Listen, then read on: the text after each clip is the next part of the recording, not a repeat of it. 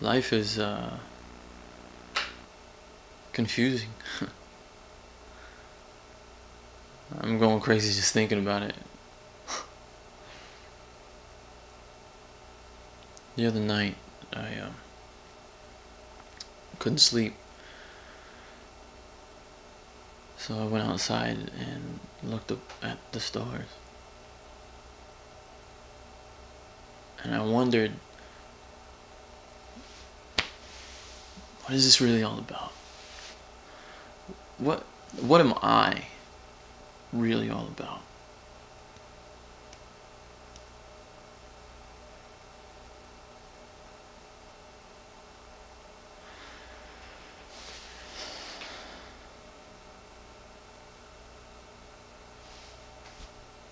Couldn't keep my wife from leaving me.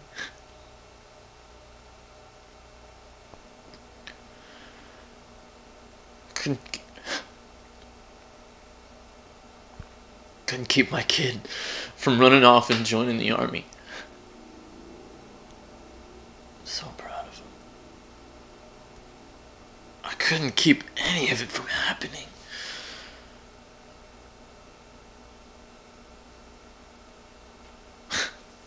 the worst part.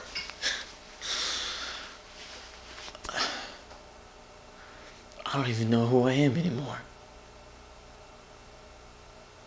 I used to know. but not anymore. I feel like I'm looking for something, you know? I just don't know what.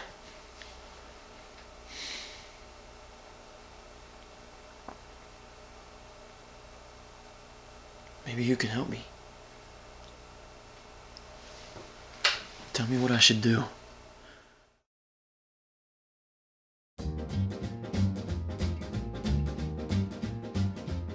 And every time it rains, it rains. And from heaven. Shooby dooby, Don't you know each cloud contains Spanish from heaven? shooby dooby. It's the cooking, the cleaning, and the crying. It's the talking in your sleep. It's the moose calls that open up your ears at 3 o'clock in the morning. I can't take it anymore, Felix. I- I'm cracking up. What? You leave me little notes on my pillow. I told you a hundred times I can't stand little notes on my pillow. We're all out of cornflakes. F you! It took me three hours to figure out that F you was Felix Ungar! It's not your fault, Felix.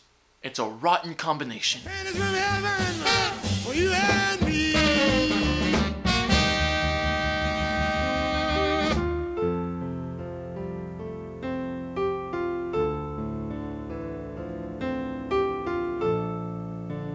Before I came to work here, I worked in a hospice for five years. I dealt with patients who were angry about dying. I dealt with patients who were sad about dying. I even dealt with patients who tried to make me feel better about their death. I dealt with them all.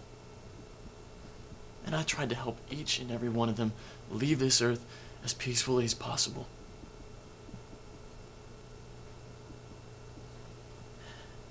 And the whole time, you think you're doing okay? You think you have a good handle on that. But one day, you form an attachment with one of those patients.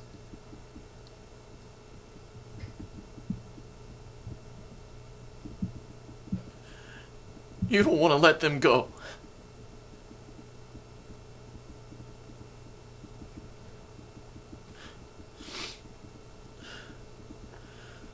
Something hits you then.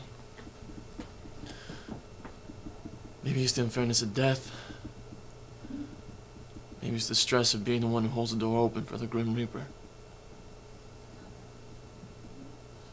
Or maybe it's the fact that one day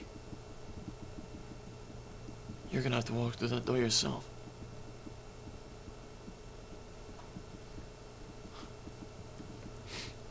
Whatever it is, it makes you irrational.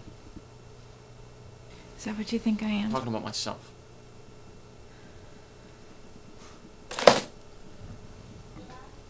One day it just came over me while I was shopping. My old stereo stopped working, so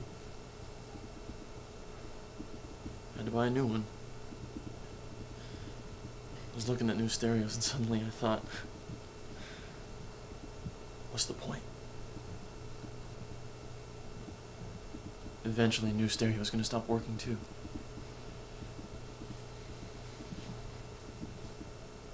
And I couldn't buy the stereo. I had a meltdown. I looked around and every appliance I saw looked defective, like it was about to blow a fuse any minute. Is that the latest chart? Yeah. What does it say? Gloria, I know how fond you are of her. Just tell me what it says. The doctor doesn't think she's gonna last through the night. Her heart is. Thank you, Michael.